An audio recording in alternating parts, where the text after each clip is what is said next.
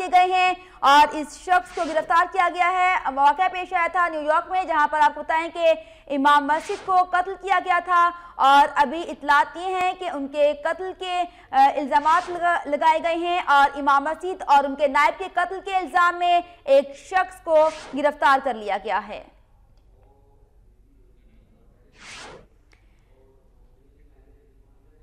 अहम खबर आपको दें कि पुलिस ने गिरफ़्तार शख्स पर इल्ज़ाम आयद किए हैं। न्यूयॉर्क में इमाम मस्जिद और उनके असिस्टेंट के कत्ल के इल्ज़ाम में एक शख्स को गिरफ़्तार कर लिया गया है। इमाम मस्जिद और उनके नायब के कत्ल के इल्ज़ाम में एक शख्स को गिरफ़्तार किया गया है पुलिस के मुताबिक और पुलिस ने गिरफ़्तार शख्स पर इल्ज़ाम भी आयद किए हैं। मुलजिम, जिसका नाम ऑस्कर मॉरल बताया जाता है, ऑस्कर मॉरल पर कत्ल और असलहा रखने के इल्ज़ाम आयद किए गए हैं। पुलिस की जानब से अफसोसनाक वाक़ पेश आया था न्यूयॉर्क में, जहाँ पर इमाम मस्जिद और उनके पेश इमाम के कत्ल के इल्ज़ाम में एक शख्स को गिरफ़्तार किया गया है। इमाम मस्जिद और पेश इमाम का कत्ल हुआ था न्यूयॉर्क में और अभी पुलिस के मुताबिक एक शख्स को गिरफ़्तार किया गया है।